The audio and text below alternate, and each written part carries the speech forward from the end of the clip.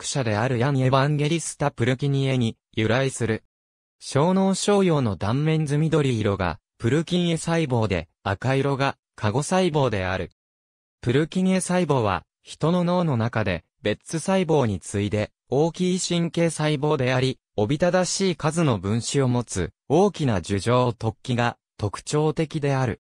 これらの細胞は小脳の内で下流層と分子層の間にあるプルキニエ層と呼ばれるところに分布している。ただ、樹状突起を伸ばす方向は各々平行で、ドミノのように並んでいる。この樹状突起が作る大きなシート状の構造に、下流細胞から来た平行線維が垂直方向に走ってきて、グルタミン酸性のシナプスを形成する。この平行線維からの入力は、比較的弱いが、塩髄の香り深くから過小の足を通って入ってくる。登場繊維は、樹状突起や細胞体に巻きつきながら接合し、強力な入力を行っている。一つのプルキンエ細胞に対し20万本の平行線維がシナプスを形成するが、入ってくる登場線維は一本のみである。分子層にある、カゴ細胞と正常細胞は、プルキンエ細胞に対しそれぞれ、軸索基支部と樹状突起でシナプスを形成しており、抑制性の入力を行っている。プルキンエ細胞は運動協調性に関する小脳皮質からの唯一の出力で、深部小脳核に対して抑制性の投射を行っている。小脳における局所回路。興奮性のシナプスはで表し、抑制性のシナプスはで表す。MF、苔状繊維。DCN、深部小脳核。IO、下オリーブ核。CF、登場繊維。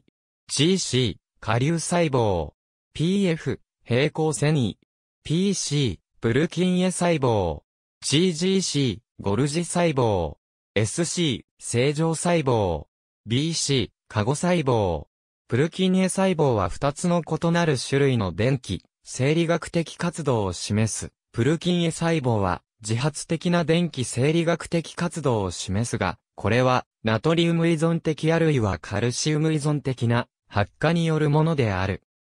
特にプルキニエ細胞の電位依存性ナトリウムチャネルでは、通常の神経細胞のそれとは異なり、発火後の不活性状態が完全には起こらず、しかも敷位置が低く不活性化してもすぐに静止状態に戻る性質があるので、活動電位が終了したとしても脱分極ができるので、連続発火が可能となっている。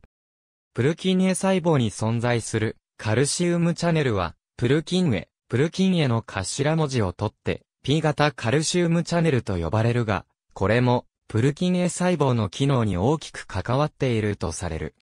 伊藤正浦によると、平行線維と登場線維をほぼ同時に組み合わせて刺激すると、一定期間平行線維とプルキンエ細胞間のシナプス伝達効率が低下するという長期抑圧が観察される。これは、小脳での運動学習機構の基礎とされ、登場繊維からの刺激を誤差信号とする、教師あり学習の仮説の根拠にもなっている。プルキニエ細胞の樹状突起は、内因性カンナビノイドを放出して一時的に興奮性、抑制性のシナプスを下方制御することが示唆されている。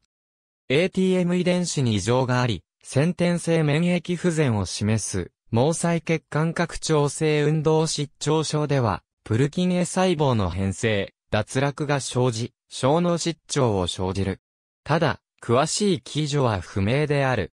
B 型カルシウムチャネルに異常がある脊髄症の、失調症6型では、プルキンエ細胞が優先的に脱落し、小脳失調を呈する。ありがとうございます。